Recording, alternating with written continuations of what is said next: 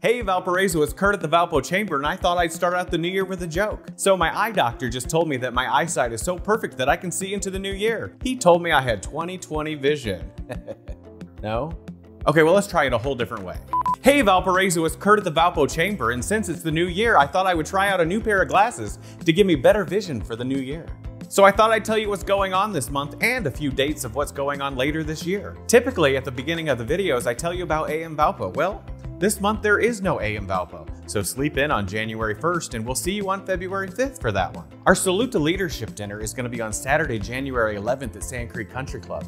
At this event, we will honor Mayor Jon Costas with the Distinguished Community Leader and Randy Zromkowski as the Legacy of Service recipient. We will also honor five Valpo Chamber members who have been in business for 50 years. General Insurance Services, Dynatech Manufacturing, Tudor Floors and More Carpet One, Summers, Plumbing, Heating and Cooling, and Schultz Floral and Gifts. Make sure you put your reservation in for that by January 3rd. Next up, we have our first business after hours of 2020. It's at the VNA of Northwest Indiana on Thursday, January 23rd. It's going to be from 4.30 to 6 p.m., so make sure that you plan to attend that event.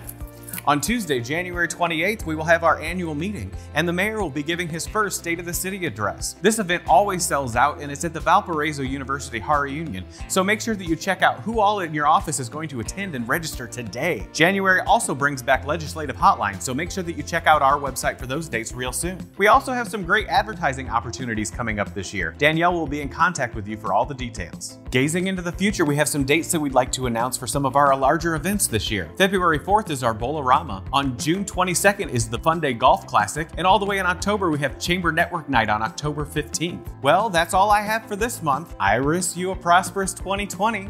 We'll see you soon. Hold on, let me try these. Uh, what did one eye say to the other eye?